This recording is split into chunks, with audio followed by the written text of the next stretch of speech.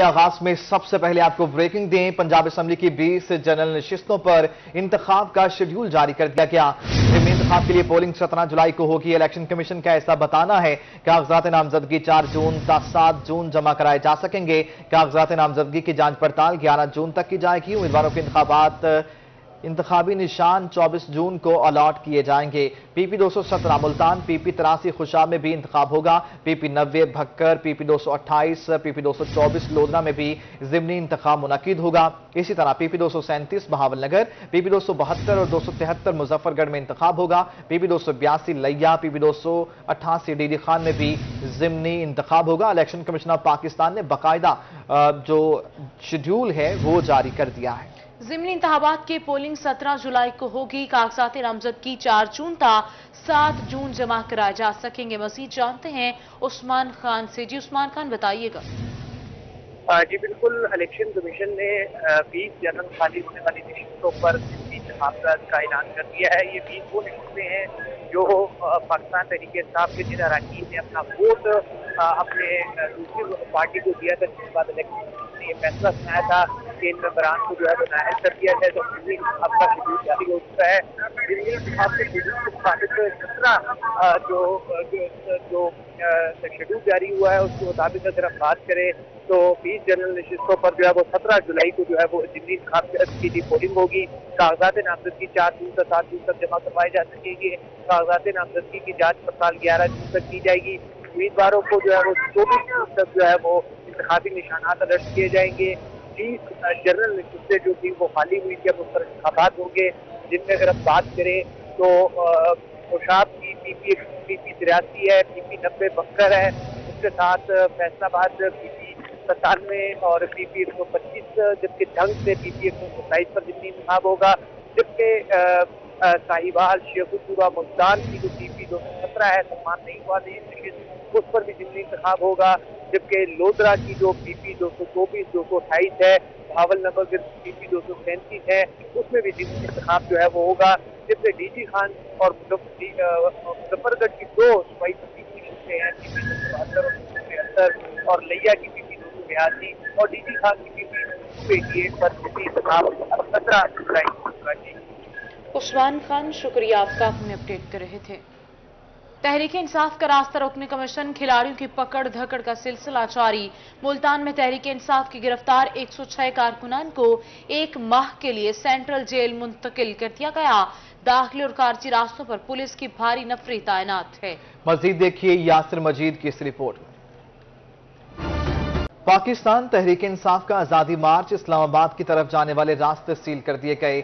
शाहरुख ने आलम इंटरचेंज पर पुलिस की भारी नफरी तैनात, मुल्तान के दाखिल और खारजी रास्तों पर छह नाके लगाए गए हैं। पुलिस की भारी नफरी तैनात है। मसीह जानते हैं इसी हवाले से माजिद कलासरा से। जी माजिद, बताइएगा।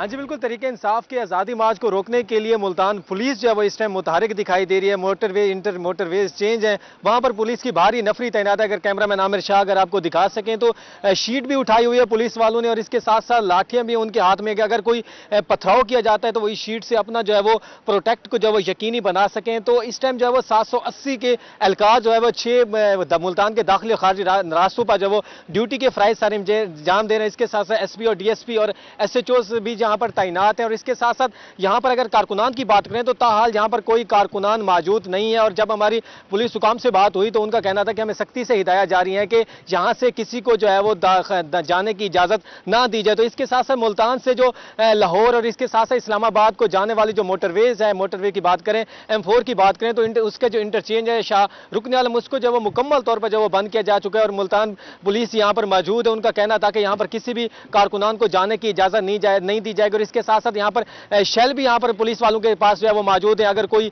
यहाँ पर कोई हंगामा रहे की जाती है तो शेलिंग भी यहाँ पर की जाएगी। यहाँ पर मुख्तलिफ़ जो अफसरान है वहाँ वो भी यहाँ पर ड्यूटी पर फराइज सलीम जान दे रहे हैं और इसके साथ साथ अफसरान जो एहलकार है उनको जो हिदायत भी जारी की जा रही है कि किसी किस्म की जो यहाँ पर हैवी ट्रैफ़िक है उसको यहाँ से नहीं दिया जाने दिया जाएगा। जी। मार्च आपका काफ़ी अपडेट कर रहे थे। पाकिस्तान तहरीक इंसाफ का आज़ादी मार्च। इस्लामाबाद की तरफ़ जाने वाले रास्ते सील कर दिए गए। मुल्तान के दाखिल और खारची तमाम रास्तों पर नाकाबंदी तमाम नाकों पर पुलिस की भारी नफरी तैनात। बड़े इसलाह को मिलाने वाली अहम शाहरा शेरशाह टूल प्लाजा पर कंटेनर्स मौजूद हैं। मजीद जान लेते हैं अमजद मलिक से। अमजद बताइए। आज़ादी मार्च है लॉन्ग मार्च वो आज हो रहा है। तो इस हवाले से जो काफिले हैं इमरान खान ने पाकिस्तान भर से इस्लामाबाद की कॉल दी हुई है।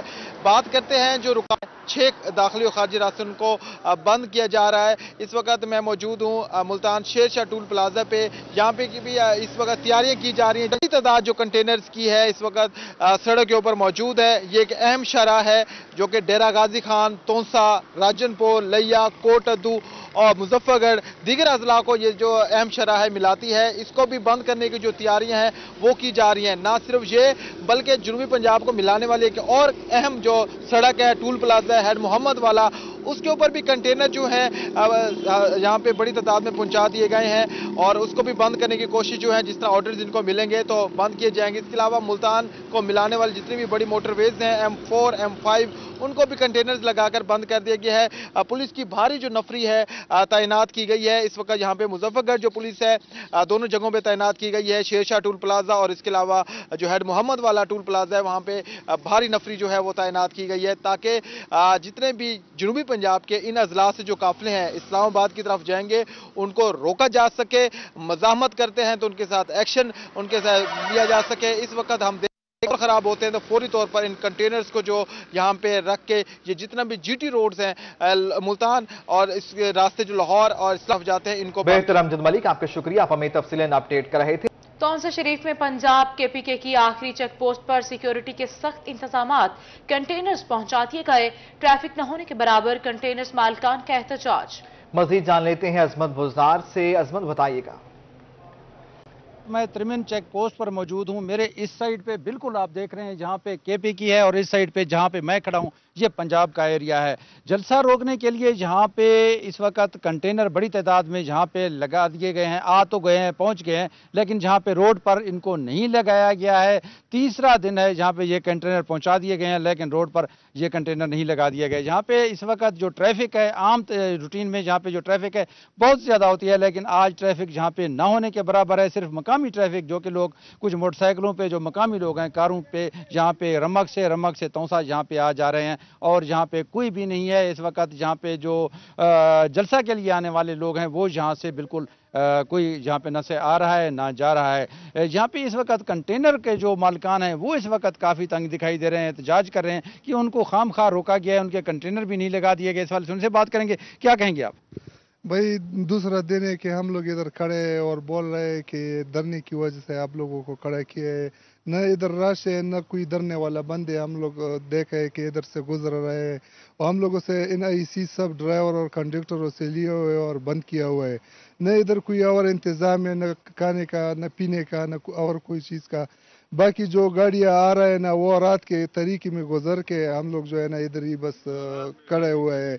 और दूसरा बात ये है कि ये जो कंटेनर है, ये ट्रांसट्रेट का है और इसमें जो है ना यूमिया सौ डॉलर जो है ना डिमरेज आ रहा है। ये ट्रांसट्रेट का है और इधर जो है ना हम लोगों के बड़ी जुर्माने मतलब है उधर से इनका कह रहे हैं कहना है कि इनका काफ़ी नुकसान हो रहा है। कंटेनर रोक के ये लोग इंतहाई परेशान नज़र आ रहे हैं। इनका मुतालबा यही है कि इनके कंटेनर जहाँ पे इस वक्त ना कोई धरने का यहाँ पे कारकुन जहाँ से गुजर रहा है ना कोई धरना नज़र आ रहा है। इस इसलिए इनको फौरी तौर पर छोड़ा जाए। इनका शुक्रिया आप हमें अपडेट कर रहे थे। पीटीआई जलसा कोऑर्डिनेटर सप्तैन खान पर आँसू गैस की शेलिंग कोऑर्डिनेटर सप्तैन खान का क्या कहना है? आइए आपको सुनवाते हैं रही है लेकिन हमारे हौसले बुलंद हैं। साथी इमरान खान की कॉल पे। और इंशाल्लाह जा रहे हैं। शेलिंग्स हो रुकावटें हों अल्लाह के हुक्म से इस्लामाबाद पहुँचे। इंशाल्लाह। इंशाल्लाह। चेंज पे इस वक्त शेलिंग हो रही है। लेकिन हमारे हौसले बुलंद हैं। साथी इमरान खान की कॉल पे। और इंशाल्लाह जा रहे हैं। शेलिंग्स हो रुकावटें हों अल्लाह के हुक्म से इस्लामाबाद पहुँचे। इंशाल्लाह। इंशाल्लाह। चेंज पे इस वक्त शेलिंग हो रही है।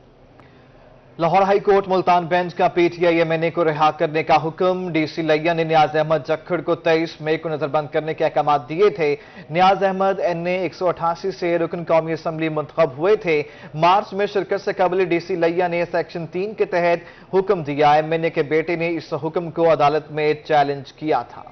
आपको बता रहे हैं, Lahore high court Multan bench का पीटीआई एमएनए को रिहा करने का हुक्म। डीसी लैया ने न्यास अहमद झाकड़ को 23 मई को नजरबंद करने के अहकाम दिए। नियाज अहमद एन ने एक सौ अठासी से रुकन कौमी असम्बली मुंतखब हुए।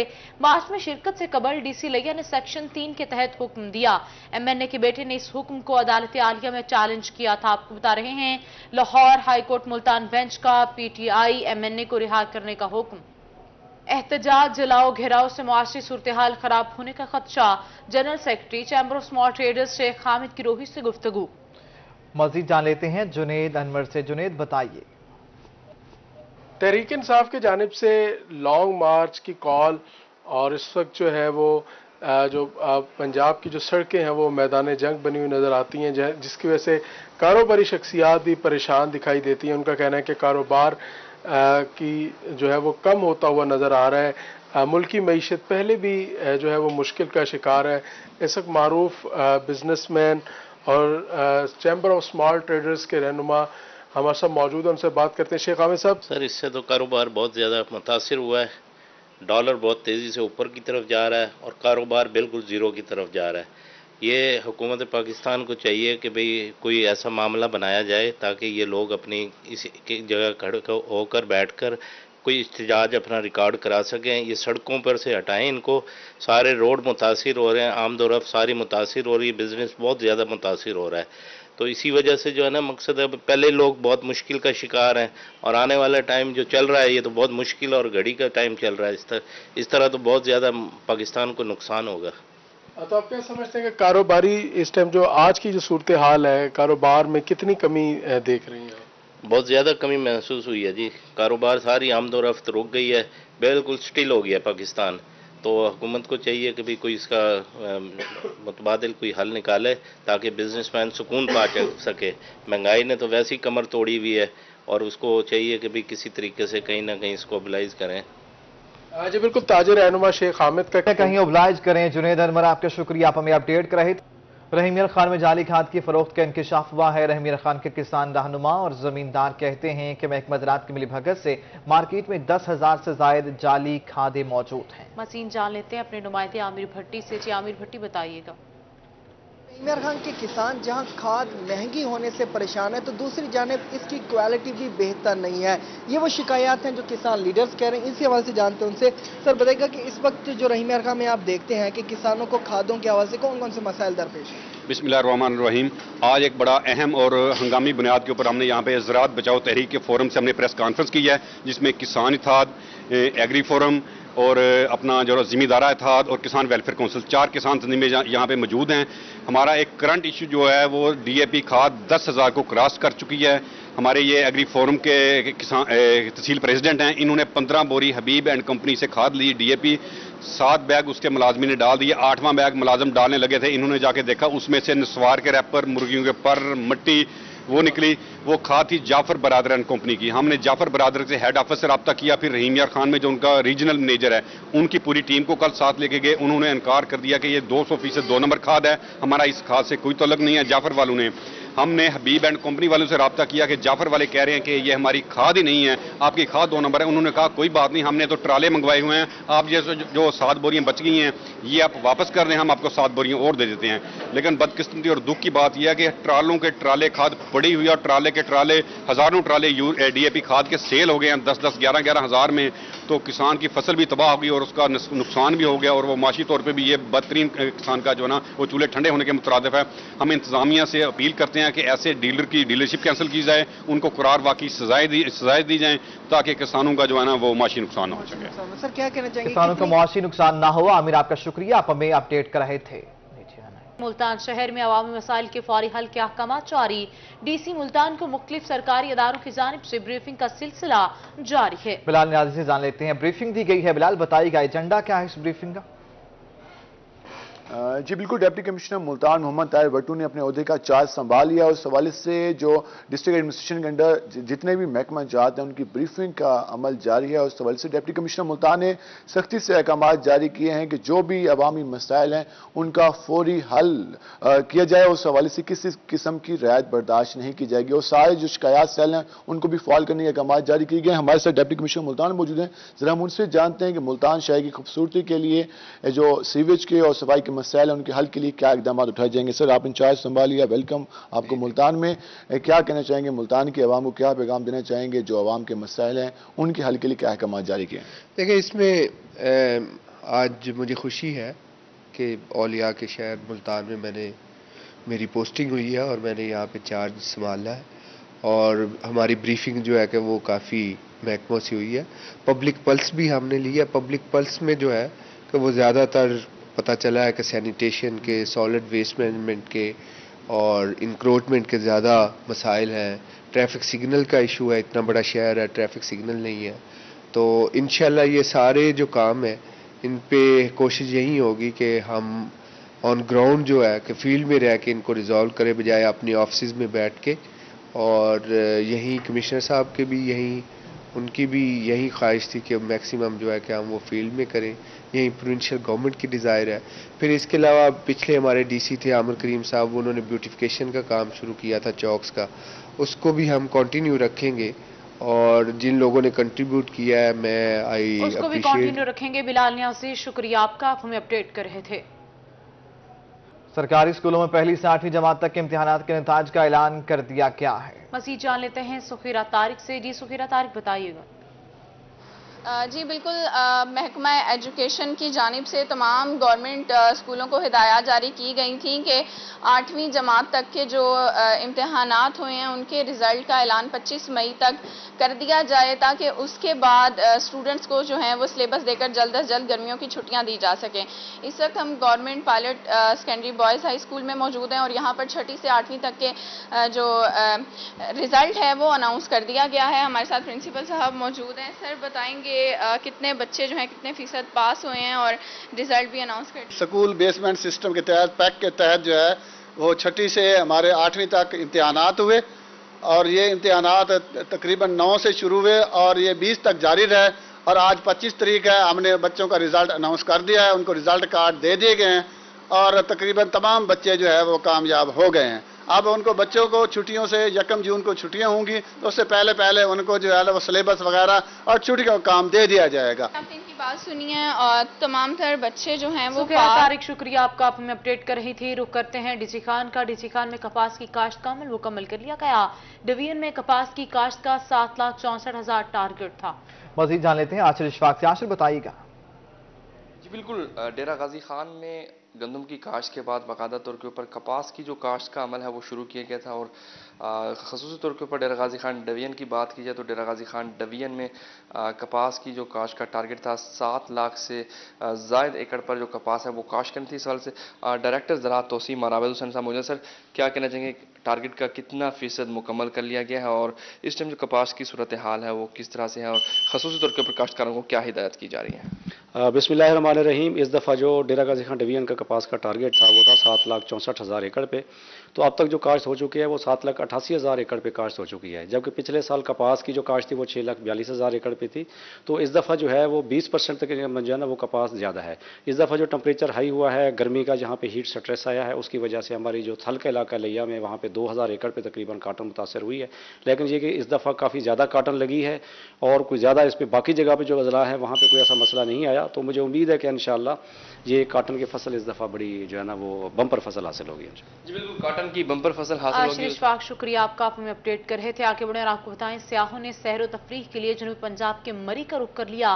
सियाहों की बड़ी तादाद फोर्ट मनरू पहुँच गई है। मजीद जान लेते हैं अली मूसा रजा से। मूसा बताइएगा जी, बिल्कुल, मैं इस वक्त मौजूद हूँ जनूबी पंजाब के मरी फोर्ट मंडरू में।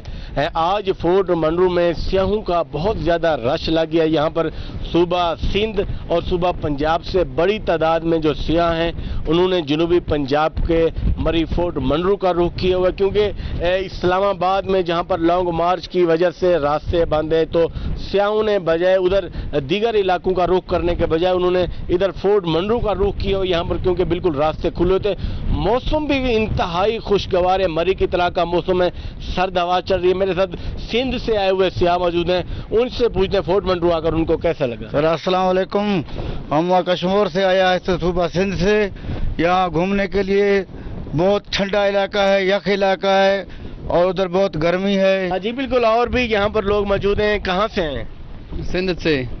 कश्मीर से। कैसा लगा? यहाँ पर ठंडी हवा चल रही है मज़ा आया? माशाल्लाह सही है वीआईपी जी बिल्कुल यहाँ पर सभी लोग आए हुए हैं और भी लोग मौजूद हैं। यहाँ पर छोटे बच्चे हुए हैं। यहाँ पर फोर्ट मंडू ठंडी हवा लग रही है? हाँ, क्योंकि ये सिंधी इनको आती है तो यहाँ और काफ़ी सारे लोग जो आए हुए हैं। इंतहाई फोर्ट मंडरू का खुशगवार मौसम है। आप थोड़ा सा बता दें कैसा हमारे को बहुत इधर अच्छा लगा। हम सिंध से आए हैं कश्मीर से। कितनी बार पहले आए? ये दो तीन सफ़ा पहले भी आया। अभी भी आया घूमने चक्कर लगाने इधर ठंडी हवा का बताए कितनी ठंडी हवा बहुत ठंडी हवा है बहुत माशाल्लाह इतना हवा है जी बिल्कुल। खूबसूरत है। ऐसी ठंडी हवा है कि यहाँ पर कोई जैकेट पहनने का दिल कर रहा है तो स्याहों की बड़ी तादाद जो यहाँ पर पहुँची हुई है खूब इंजॉय किया जा रहा है। यहाँ पर मुख्तलिफ़ मकाम एंजॉय किया जा रहा है। अली मूसा रजा आपका शुक्रिया। आप हमें तफसीलन अपडेट कर रहे थे। इस बुलेटिन से फिल वक्त इतना है।